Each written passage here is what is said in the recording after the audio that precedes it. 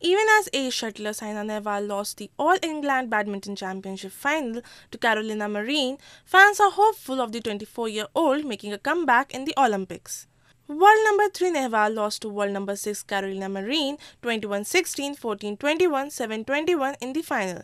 After making a fantastic start, Saina faced a remarkable resurgence from Spaniard who won both the games. खेलकूद है खेलकूद में तो भाई एक